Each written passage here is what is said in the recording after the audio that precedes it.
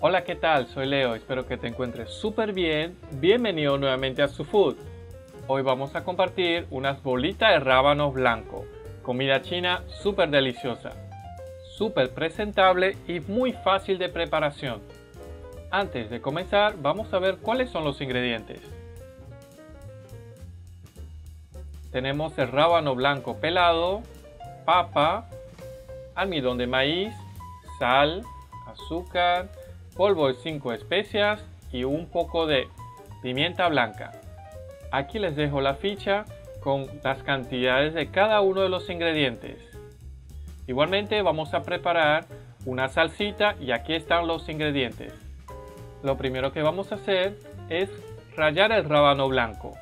Lo vamos a hacer con esta cara del rallador de forma inclinada y le vamos a dar vueltas mientras vamos rayando. De esta forma podemos completar y rayar todo el rábano. Seguidamente vamos a rayar la papa. Lo vamos a rayar allí mismo donde está el rábano blanco. Este orden principalmente es porque la papa se oxida con el contacto con el aire.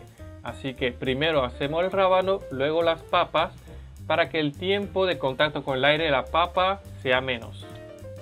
Y cuando tengamos todo listo, previamente ya tenemos una olla con agua hirviendo.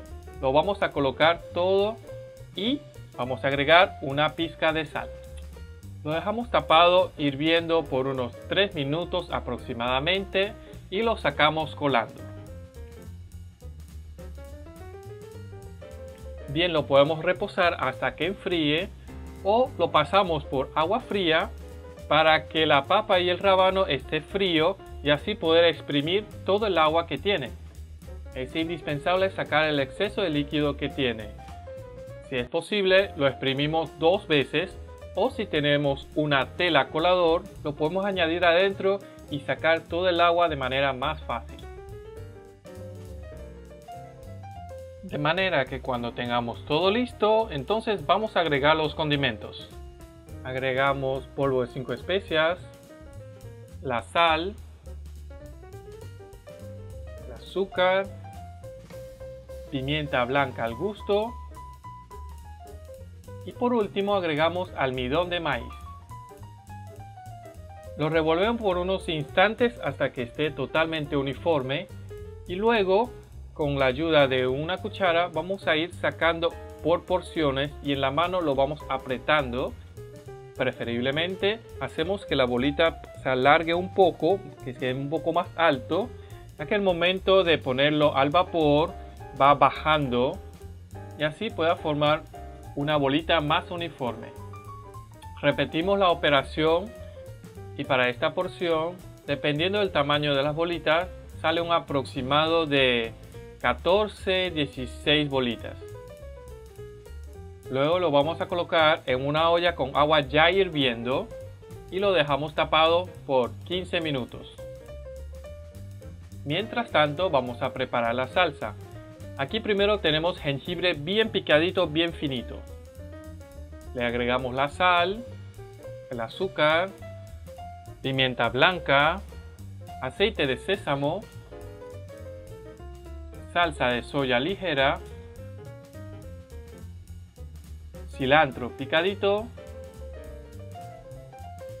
y arriba le vamos a añadir aceite vegetal bien caliente. De esta manera el cilantro expande toda su aroma en tan cuestión de un segundo. Semilla de sésamo blanco. Por último, pero opcional, le agregamos puré de ají picante. Esto es para los amantes del picante. Y así tenemos rápidamente una salsita bien deliciosa. Ya pasado los 15 minutos, aquí tenemos las bolitas de rábano blanco. El resultado es lo esperado. Las bolitas de forma circular se formaron perfectamente después de cocinarlo. Vamos a esperar que esté un poco tibiecita para servirlo. Y encima entonces le colocamos la salsita que preparamos y estará listo para servir.